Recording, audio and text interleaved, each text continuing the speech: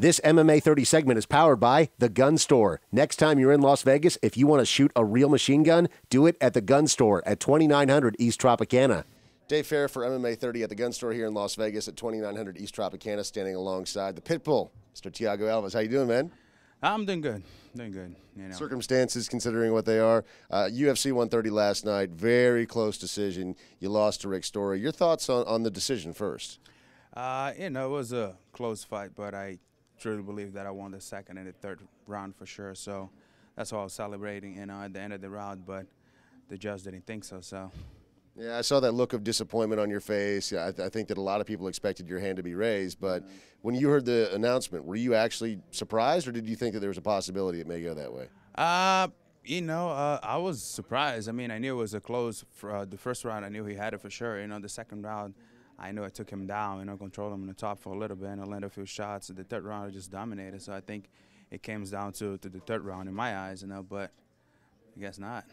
It's one of those risky fights too, because Rick Story, a lot of people that are kind of MMA diehards know that he's a really good fighter and he's an up and coming prospect. But his name isn't as big as the Thiago Alves name yet. So when that first fight first got brought to you, was there some hesitation on your part to take it? Because it's always dangerous to fight a guy that's not as well known but is a really solid fighter.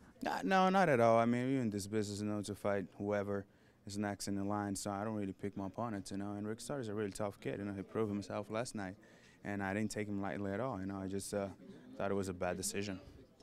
The blueprint in the past to, to beat you before with John Fitch and GSP has to been to use that wrestling. And Rick Story's got really good wrestling, but mm-hmm. you did a nice job last night of avoiding that takedown. Was that a big focus in your camp? Yeah, definitely. I'm getting my uh, wrestling skills better. I'm working my jiu-jitsu a lot. You know, uh, a few things that I really think I should have done better in that fight, not stayed in the cage for too long, and you know, try to push him off a little bit. I started out uh, kind of slow, you know, was picking up as the fight was goes on and uh, but you know, it's a learning experience. You know, I still think that I did enough to win the second, the third round. But once again, you know, it's out of my hands now. I feel like you, have answered a lot of the questions about the weight being an issue for you in the past. There's a guy standing right over there by the name of Mike Dolce, who I know has been working really closely with you for a long time. And I think you tweeted that you're ready to put this bedtime story to sleep with your weigh-ins on Friday. Do you feel like all the critics have been answered on that?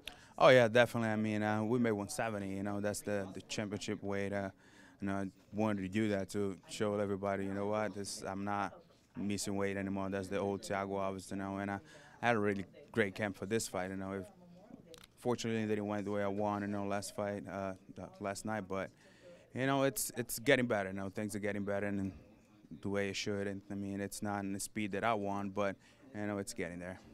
Some fighters like to take a little bit of time off after a loss to reflect. Other guys want to get right back to the gym. How do you feel? I want to get right back to the gym. I mean, uh, I want to erase this loss as, as fast as possible. You know, so I'm healthy. I'm not.